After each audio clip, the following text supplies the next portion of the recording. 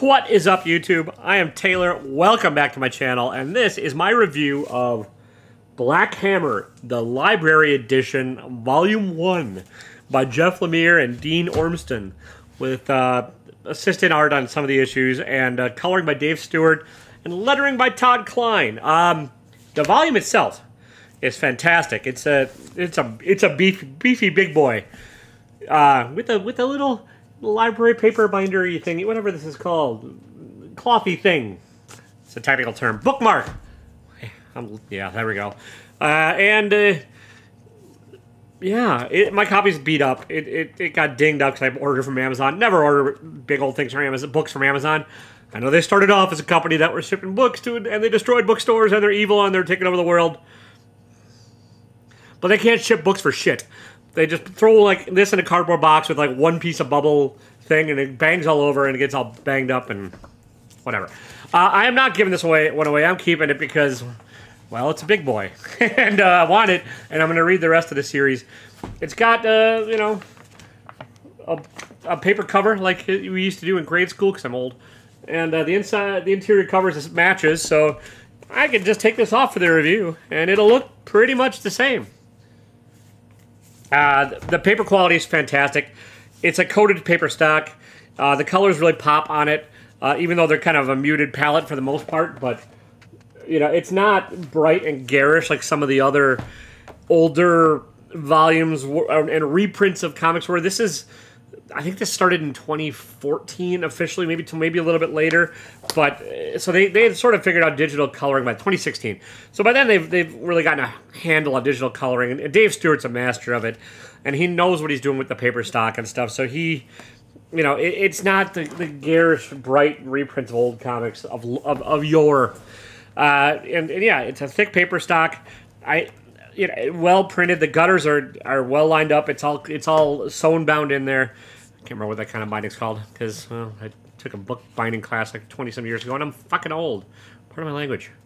Um, yeah, it's the the volume itself is quality. There's uh, at the end at the end there's some uh, reproductions of the original art with the, the pasted in lettering eh, of by Dean and some of the color some black and white uh, versions of the covers, which is great. The this this reprints issues one through thirteen of the Black Hammer series and the annual the first annual, and uh, it, has got a, um, and uh, I'm just explaining what the extra stuff is in here. Not a ton. I mean, it's got some of the original character concepts by Jeff Lemire and Dean, and and how they evolved and stuff. And uh, yeah, but the, the, it's a solid, well put together volume itself. Now, as far as the book goes, let's get into it, huh? Spoilers, spoilers, spoilers. Try not to explain, spoil the whole plot, but I'm gonna have to give some stuff away here. Uh, because well, and you'll you'll sort of get this right off the bat if you decide to read this. Black Hammer follows these Golden Age and Silver Age heroes that got together to fight this giant monster called the Anti-God, and they beat the Anti-God, and then they, boom, flash of light, they woke up on some farm, and they're trapped there in a small town where the, the world doesn't know of superheroes, there's no internet, uh, and they've been there a decade when the story starts and and that's kind of the, the start of the tale. The characters themselves are sort of a combination of DC and Marvel and timely comics and some of those old archetypes or those old heroes. There's Golden Gail, who's like a sort of a reverse Shazam or Captain Marvel back. Doesn't matter. Shazam. We'll go for Shazam. It's easier. When she says the word Zafram, she transforms from her real age of a middle-aged woman to a nine-year-old girl with superpowers. Unfortunately, in the world of Black Hammer and on this farm, she is trapped in the body of a nine-year-old girl. So she's a middle-aged woman in a nine in a nine-year-old girl's body, swears like a sailor, drinks like a fish, but in order to like keep appearances and stuff, has to keep going to school and repeating like third grade or whatever the heck grade nine-year-olds are in. Whatever. Timing, age, hard. I don't have kids. Whatever. Um, and and so like she's really struggling with the being trapped here. And, and most of the characters are struggling. And there's, I mean, they all have their own struggles, but some are more visible and some are more apparent at first, and some like get slowly revealed through the course of this volume. Uh, anyways, Abraham Slam is sort of a Captain America figure, uh, mixed with a little bit of nah, not really Batman, but he doesn't have any superpowers. He's just a boxer that put on a costume and slams people. He's he's the aged hero of the bunch. You know, kind of outdid, uh, you know, probably had outlasted his heroic usefulness in the real world, and now he's the father figure on the farm. Kind of enjoys it here, actually. He's dating a waitress for part for this, and uh, you know, there's struggles and stuff, but he he's the most well adjusted, and at least on the surface, is the, the most accustomed and, and liking this farm life. Uh, then there's also Colonel Weird uh, and and his uh, robot companion, uh, the female robot Talky-Walky. Colonel Weird's kind of a Flash Gordon figure, and Talky-Walky is a female like uh, not, Forbidden Planet kind of age, you know, retro sci-fi 1950s robot and 1950s space explorer where you you know you could go to space wearing nothing but a bubble and a jetpack and a bikini or whatever and you'd be fine that's the Colonel Weird, and uh, and yeah, the name fits. He's the oddest character probably in this volume. Uh, you're not really clear what's going on with him. He's ages and de-ages as you as you meet him in this series, and uh, he just pops in and out of existence, and then uh, also goes to another realm that I can't remember the name of, Parazone, Para something like that. So it's it, it's really trippy and definitely playing off the mystery and space stuff and the old golden and silver age sci-fi elements. Uh, I think he's like unstuck in time and has bits and pieces of the visions of the future and the present and doesn't really seem to realize when or where he is all the time. And he has these doorways he can go in and out of that like give him peeks and stuff. He's one of the like I said, more mysterious characters of the bunch, and his motives are kind of unclear. He does some things in the volume that uh, uh, don't seem great, and I'm not sure if there's a reason for that yet. But uh, we'll talk about that a little bit. Uh, and Barbalien, who is a straight Martian Manhunter type character, who also happens to be a, a identifies as a gay man, and and uh, his struggles as a gay man living in a small town where that's not necessarily accepted, and he's a Martian, so he's doubly alien, as it were, and uh, or feels doubly alien, not yeah, feels doubly alien. And then there's a uh, Madame Dragonfly, who is sort of a witch, the witch figure, sprouts wings um, sort of the House of Secrets, House of Mystery kind of uh, character, Elvira ish, who will break the fourth wall and talk to the reader at least at certain points, and lives in her own cabin. And this cabin has superpowers and you know different haunted rooms and all and whatnot. So those are the main players at first. There's a character introduced in this volume that I don't want to like spoil, but that, that character I, I think is definitely has significance and is going to play a greater role as the whole series goes on, and and that character is also involved in a as a, in a cliffhanger ending to this volume. Uh, and that's not a complaint. Uh, the, the, cliffhanger ending, it, I, I kind of enjoy cliffhanger endings at times, uh, and this this is one of those times because it's an intriguing enough story with intriguing enough characters that I'm. By the time I got to this, I, I was pretty heavily invested in what was happening to them. So I'm curious to see where it goes next. And it's it's already finished this this part of Black Hammer. There's a Black Hammer universe that Jeff Lemire has created, and like there's new stories that are being told and that and stuff. So if you dive on into the Black Hammer world now, you might be maybe a little lost, but he does a trying to good outside of the volume. I don't I don't want to review the entire Black Hammer universe; it's too big. But like you can pick up newer comics that are coming out that are in the Black Hammer world. Uh, so, if you, but if you wanted a full idea of what actually happened and, and and the start of the universe, this is where it starts. Is in this Black Hammer Library Edition, or the single issues if you if you want to pay the money and collect those. Uh, yeah, so these characters they beat the anti god. They all come together in like the 60s or 70s. I think I, it, the time is kind of unclear. The internet does exist in the current day, but they they they beat these characters and then they end up trapped on this farm and they're there for 10 years. And so we meet these characters 10 years in, and they're all coping to various degrees as far as like how they're surviving and how frustrated they are and what they're trying to do to get out of there or whether or not they resign themselves to the fate.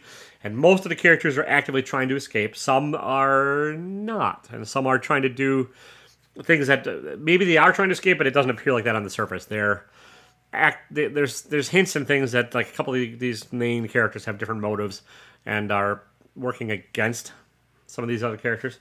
Uh, yeah, there's a lot of you could tell there's a love of superheroes in this book, and that Jeff Lemire loves the Golden Age and Silver Age stories. It, it's kind of evident across this page, these pages, and, and the covers and all that stuff.